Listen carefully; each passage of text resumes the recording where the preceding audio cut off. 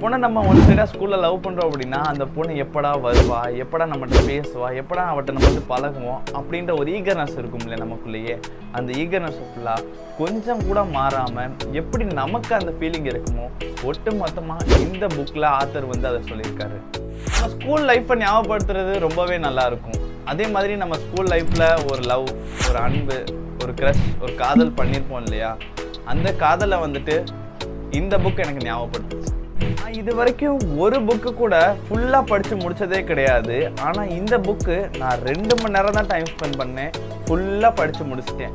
அப்படி அந்த புக்கு இன்ட்ரெஸ்டிங்காக இருந்துச்சு.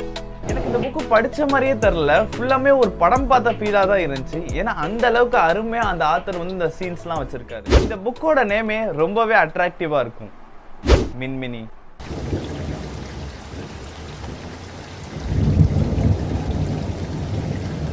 இப்போ நம்ம ஸ்கூல்ல எல்லாம் சனிக்கிழமை ஆனா கலர் ட்ரெஸ் போட்டு ஒரு அலோவ் பண்ணுவாங்க இல்லையா? அதே மாதிரி ஒரு ஸ்கூல்ல ஒரு பையனும் பொண்ணும் பதினஞ்சு தடவை ஒரே மாதிரி கலர்ல ட்ரெஸ் போட்டு வர்றாங்களாம்ப்பா. இன்ட்ரெஸ்டிங் நூறு பக்கம்தான் இருக்கு. அவள் பெயர் மின்மணி அல்ல. நான் ஒரு முறை கூட மின்மணி என்று அவளை கூப்பிட்டதும் அல்ல. நான் இப்படி ஒரு அழகான பெயர் வச்சிருக்கேன்னு கடைசி வரை அவளுக்கு தெரிந்ததும் அல்ல. உள்ள ஆத்தர் எழுதியிருக்க சின்ன சின்ன வரிகளுமே அவ்வளோ கிரியேட்டிவாக இருக்கு. இப்போ படம் பார்த்தீங்க அப்படின்னா ஒரு சீன் கொஞ்சம் மாறினா கூட அடுத்து வர சீன் புரியாது இல்லையா?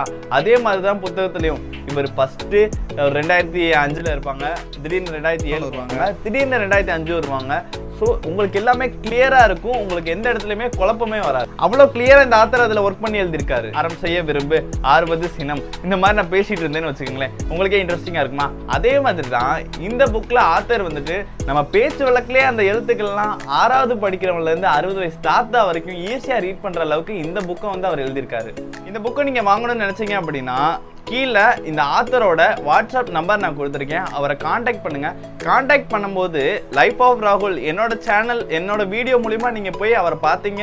என்னோட நேமை நீங்கள் யூஸ் பண்ணி வாங்குனீங்க அப்படின்னா ஒரு தேர்ட்டி ருபீஸ் டிஸ்கவுண்ட் பண்ணுவாங்க. ஒன் ஃபிஃப்டி வந்து புக் ரேட்டு ஒன் டுவெண்ட்டி உங்களுக்கு வந்துட்டு அவர் கொடுப்பாரு.